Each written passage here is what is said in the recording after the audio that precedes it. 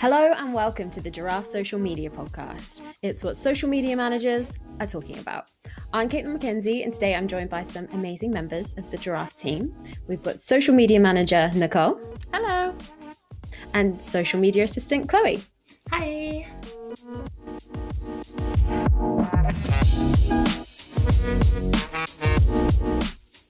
So, in today's group chat episode, we're going to be talking about all things January to help you plan ahead for the new year.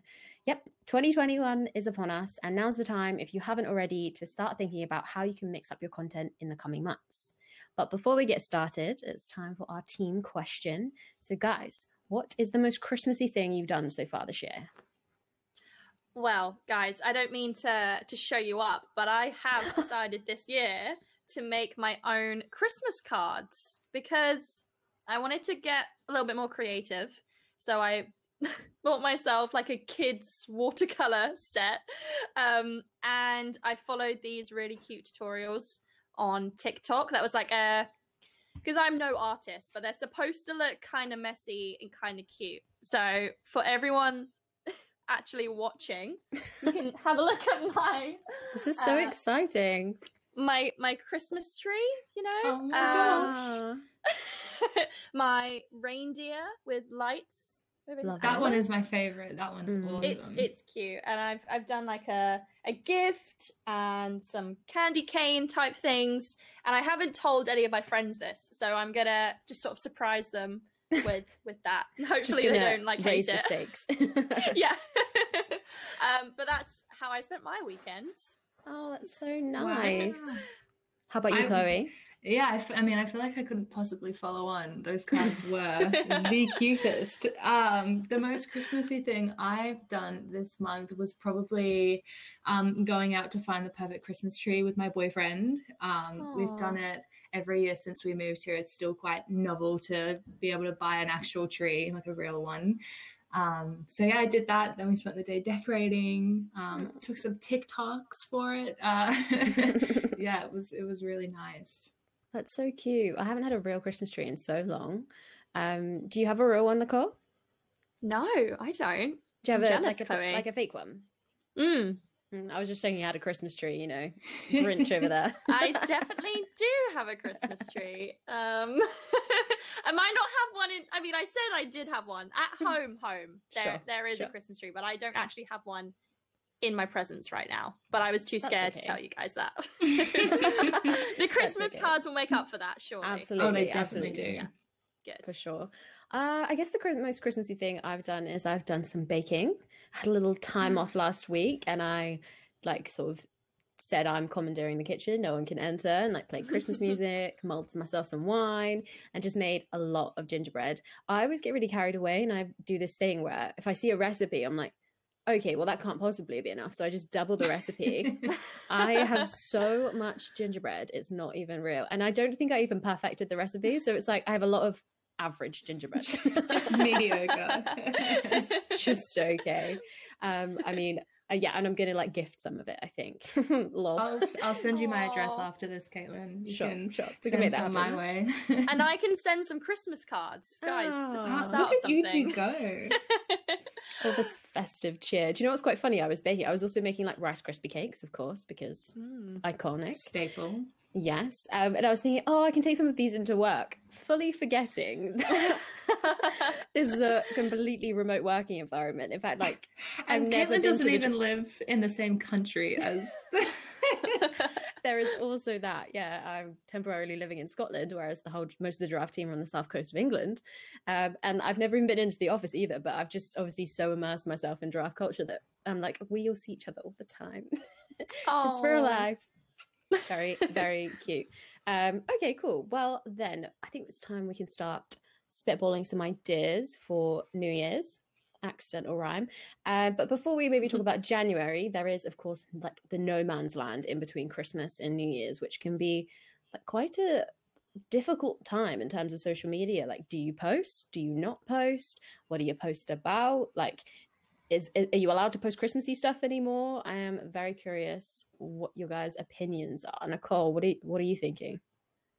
Yeah, it's a, a weird time. And I think for a lot of businesses, they usually think oh, I'll hold off on posting during this time. No one's really interested. You know, we're all in the festive spirit. We're all just, you know, getting drunk with our families, which might be true. Um, but I actually think it's the perfect time to be posting because you'll have a lot of people at home, uh, particularly at this time. You know, a lot of people may have time off work or, and not to get too depressing with with covid you know if people aren't at home with their families they will be home you know wanting some source of entertainment. And if they are on social media sort of seeing those posts and ads could be a really good time for your business. A lot of people might have received gift cards this time of year. Um, so why not use that opportunity to to post maybe offer a little discount code if possible um, but I, I think it's a it would be a good time to post i don't think people should stop posting during that time at all yeah, I think I agree. And I think it's sort of that kind of uh, maybe an urban myth that nobody is on mm. social during that time mm. because I mean, I don't know if you're anything like me, but like, you know, you're off work, you're on the sofa, watching a movie, you're scrolling. mm-hmm. mm. Like, just because we're not working doesn't mean that you're not like still engaged like it is. Just because it's a leisure place doesn't mean, you know, like you're not active on it. I don't know if I'm just talking in circles there, but yeah, I completely agree. And I think You've got Boxing Day deals that you can stretch out. Um, I really love seeing people who are quite tongue in cheek post Christmas, like now it's time to get the gift that you really wanted, like yeah. that kind of thing. You know what I mean? Mm. Um, so I agree. I think it is a good time to post. And maybe if I was going to make a suggestion, maybe think about like kind of content that is quite like maybe like calming, like sort of mindfulness stuff. Maybe like because Christmas is different this year. Like usually people like get really burnt out at Christmas because they're running around to like every party or like having to satisfy all these family members and stuff. But maybe like finding content that can be how to de-stress in this time or how to like mm. focus use this time to focus on yourself or like you know what I mean? Maybe it's like some mini projects or something. I think that's it could be quite a nice time. Uh Chloe, what do you reckon? Yeah, I think off the back of that, it's also important to remember like not to burn yourself out at Christmas when you're trying or that no man's land where you're trying to think of things to post. Think a lot of people are quite uh, it's a great time to sort of post more personable kind of content like pictures and you'll see this coming soon on the giraffe social media but pictures of any like office decorations you have or even like what your team's like home decorations look like if mm. you know mm. in a non-covid world you go out to a team dinner like that sort of stuff works really well it's not hard to come up with or think of and it's always going to perform well because people love you know the festivities that this like time of year brings um, so yeah, I think it's definitely, as you say, important to post because if not a lot of people are, that just means more of an audience for your content. Um, but yeah, I mean, don't don't like think too hard about it. It doesn't need to be like game changing. Uh, you could even just post teasers about what's to come in 2021, get people excited, get people engaged. Um, yeah. no, I think that's really nice advice. Okay, so then thinking about the new year, I have a question. Are New Year's resolutions cancelled? Because I feel like they could be. Maybe I'll start off with my 10 cents. um, I think I think it's a different kind of year, right? Like I don't know if going hard with like what's your New Year's resolution going to be, especially if you're sort of situated in like the health or the food or the beauty industries. Like reinvention isn't really relevant in my opinion. Like I'm not um I don't know. I, I don't think 2021 is the year to be thinking about maybe like completely changing your life and things like that because people are still just trying to get by. I don't know. Mm. Maybe that's just me. But um yeah, what do you guys think? Yeah, I think you're right. I mean, people are always going to be a bit more impressionable during January just because you you know people do still want to believe in you know it's the month to set goals and and reinvent yourself so i think there's definitely something there that you could post about but maybe you know we need to change the way we go about it so instead of saying like you know you need to change your entire appearance it could be more sort of offering something rather than saying you need to take something away if that makes like sense that. yeah mm-hmm. i think the key is to be just sort of sensitive and relevant to what's going on in the world at the moment. I think we all sort of realized in March that we had to shift gears in, in terms of our content and just be very wary of the situation and, and what's going on. Uh, and I think now in our last episode, we were talking about a lot of the Christmas ads and how relevant they are to sort of what's going on at the moment. So I think in the new year, just being cautious of like what we've all been through, and I really like your idea, Chloe, of sort of things that we can not not take um but give. I've completely lost tra- my train of thought there and what you were how you said it, but it sounded great. Um, but yeah, I think just being sort of a little bit sensitive to the situation and sort of talking about how your pro if you do have a product or something, how that can improve things for other people or giving, you know, all of that Hmm. kind of stuff. Yeah, I think you guys have tapped into something super nice, like suggesting New Year's resolutions that are maybe like learning a language or saving five pounds a week. Do you know what I mean? Like just making things really small and achievable because I Mm, feel like everyone is a bit burnt out at this stage. And usually, like you say, you have to be sensitive to that. Like people aren't, they don't have a lot of capacity left, whether they're working or whether they're not working. Like I feel like the world is stressed right now for very clear reasons. And yeah, I think if you can suggest something like nice and small and doable, then I think, yeah, New Year's Mm. resolutions are um aren't cancelled. Yeah, you guys have changed my mind. So of course in January there's lots of like big trends. Of course every year a lot happen all the time. Some are kind of new. Um, Veganuary is really growing traction like every year, um, and I think that's something quite key to tap into, especially if you are in any way related to it. Then I think it's it's quite cool. Do you agree?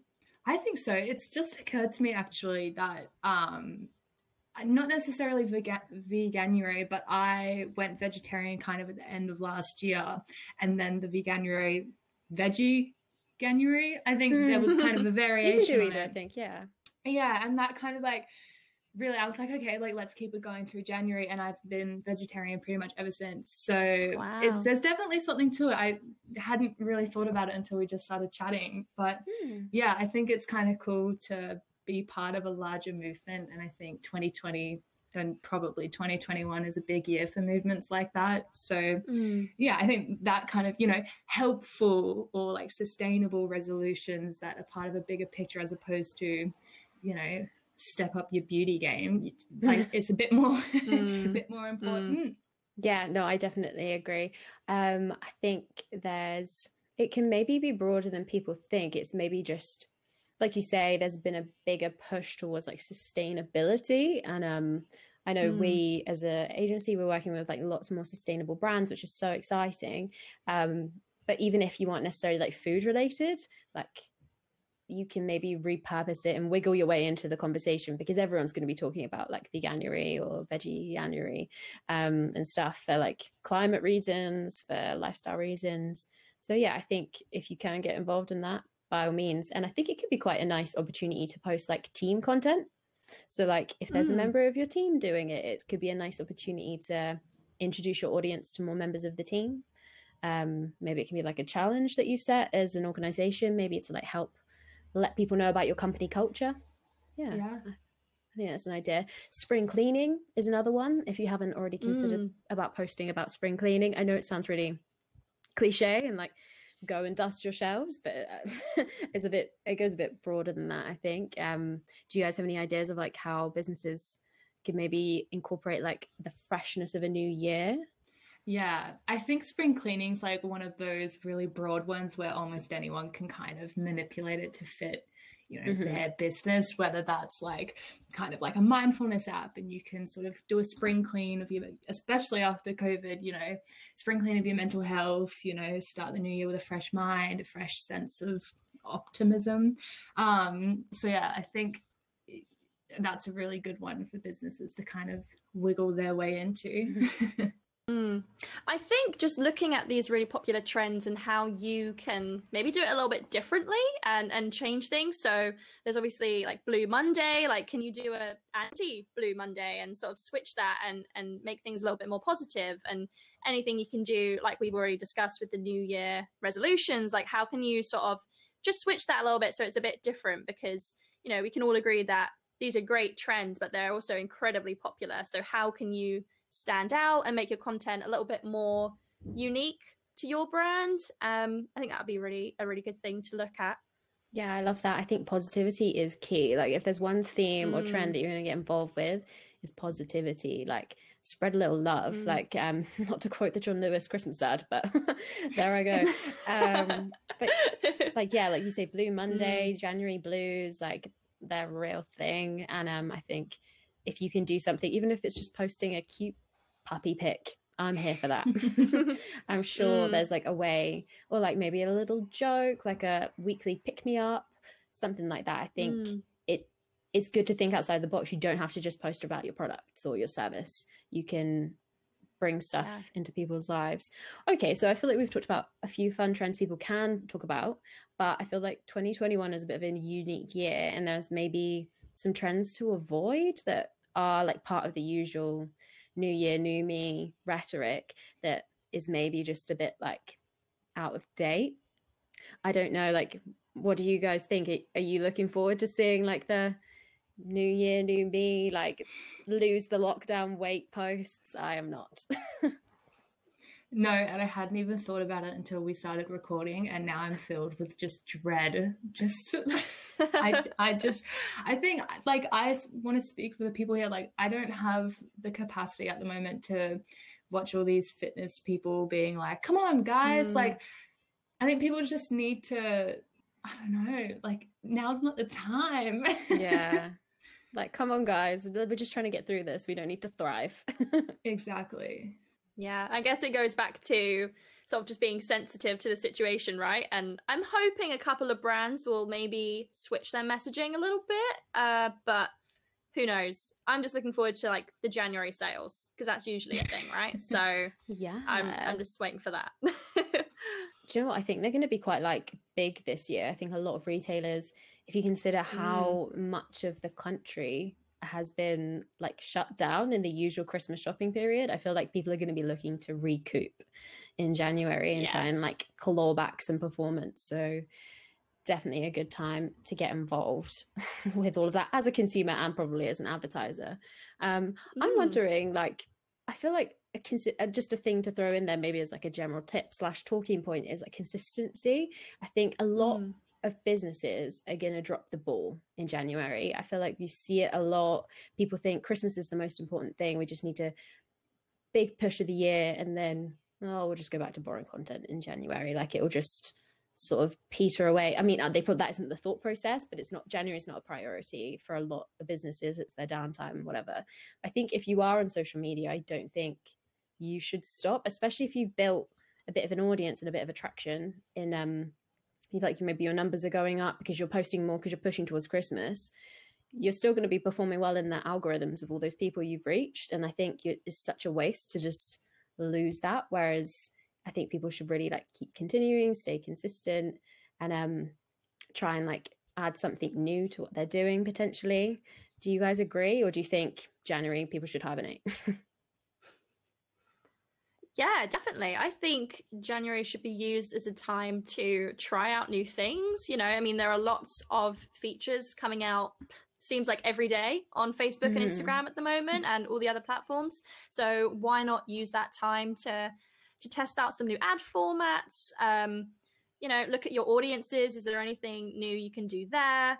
Um, Instagram guides is a new feature that recently came out. Can you upload any sort of new year guides for yeah. stuff or i know we just talked about resolutions so maybe not that but anything fun that you can put on there like an influencer takeover adding their own guide like i think all that kind of stuff is fun. So you're completely right. I think some people are so focused on getting through christmas and new year's which is completely fair um, but thinking about how you can start the new year with something new and fresh is definitely really important yeah, I'm pretty curious, you guys. What do you think about Instagram guides? Because they are new, and I think the jury is still out. I know Chloe is um our in-house influencer um, at Weekend Muse, so I'm curious. Like, will you maybe be mixing it into your content? I mean, it's it's just a new thing, isn't it?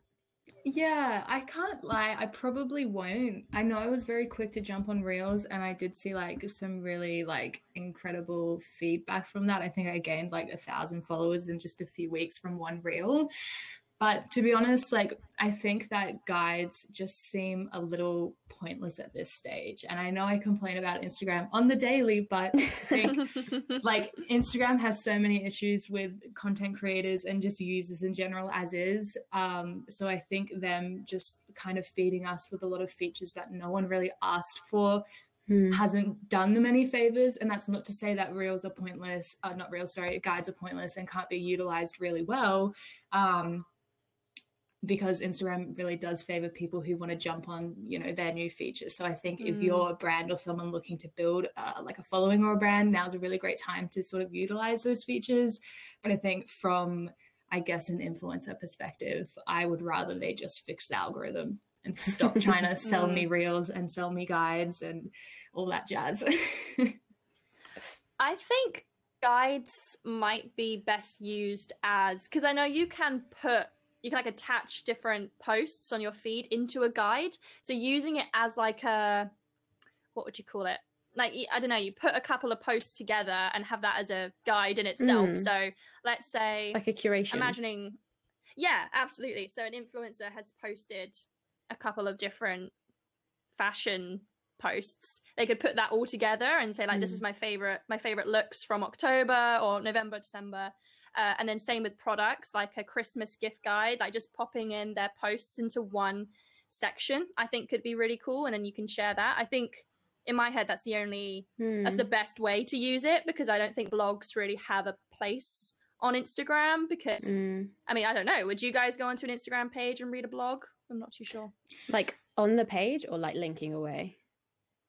in the guide itself Oh yeah. Hmm. On I think I Instagram, I I personally- would.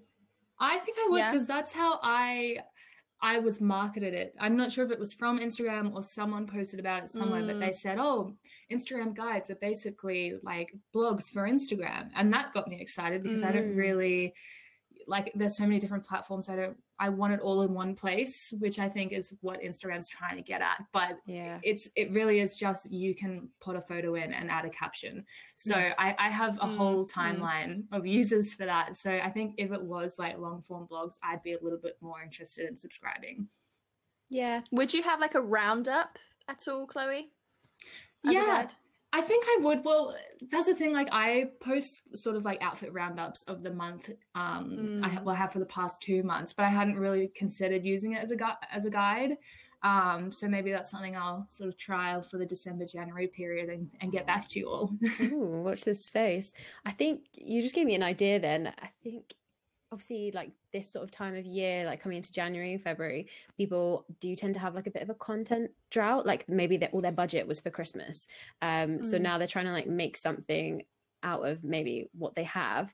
And maybe guides could be quite a cool way to repurpose content that you've already posted, like bring it together in a way. Like maybe if you were a brand and you partnered with an influencer and they did a couple of shots and you posted them a little bit all over the place, you could bring them all together and like be like our partnership with X sort of thing. Mm, Or mm. um yeah, have a look back through the archives and see how you could pull it all together. Cause I think like you said, Chloe, like Instagram loves people who love Instagram. so if you're if Mm. early adopters are always rewarded. I mean, come on, Reels now, like it's basically the Instagram Reels app, right? Like I always get stuck in in Reels. I'm like, I go to post something, I click where the post button used to be, hit the Reels button, and then I'm lost. the day the day's gone.